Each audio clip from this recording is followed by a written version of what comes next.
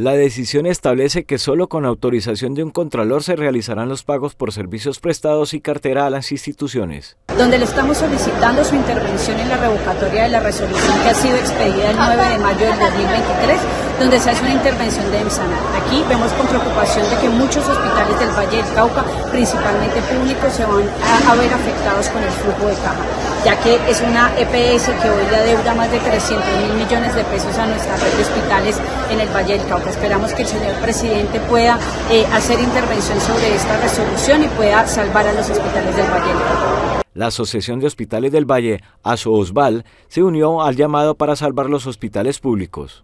Hace hoy un llamado al nivel nacional a todas las instancias gubernamentales, presidencia, Ministerio de Salud, Protección Social, al Superintendente Nacional de Salud, para que salvemos los hospitales públicos del Valle del Cauca y del resto de departamentos que se ven afectados por la falta de giros directos de las EPS Asmed Salud y Ensanar.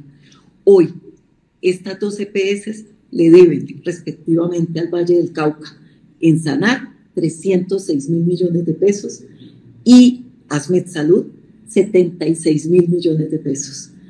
Esto mismo nosotros se lo debemos a los proveedores y a los trabajadores que sin esperanza siguen prestando los servicios, pero se agotan los esfuerzos. El no recibir los recursos afectaría a los servicios de salud para Sevilla y los de área de influencia. Queremos hacer un llamado de atención al gobierno nacional. Sabemos que contamos con el apoyo de la Gobernación del Valle, la Secretaría Departamental de Salud y queremos decirle que en Sanar para nuestro hospital es nuestro principal cliente. Representa el 62% de nuestra facturación. Asimismo, representa el 40% de nuestra cartera.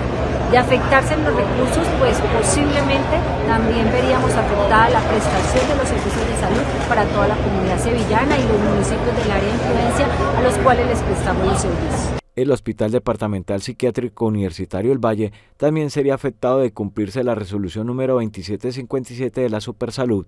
Situación es bastante crítica para la red hospitalaria del Valle, en especial para el Hospital Departamental Psiquiátrico Universitario del Valle, es supremamente preocupante, toda vez que eh, la prestación de los servicios se verían gravemente afectados. Eh, nosotros venimos recibiendo desde la intervención de la EPS en Sanar un pago por 2.100 millones que lo han realizado de manera oportuna los primeros 10 días del mes a través del ADRES y con esta resolución pues no lo recibiríamos de manera oportuna afectando gravemente la prestación del servicio.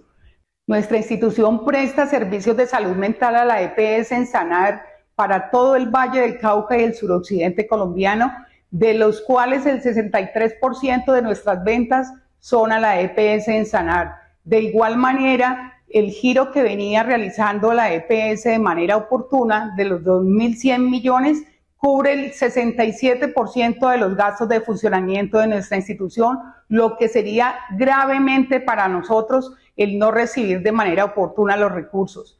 Por lo anterior, de la manera más respetuosa solicitamos al Gobierno Nacional, a la Superintendencia Nacional de Salud, si es posible revocar dicha resolución toda vez que se verían gravemente afectados nuestros usuarios.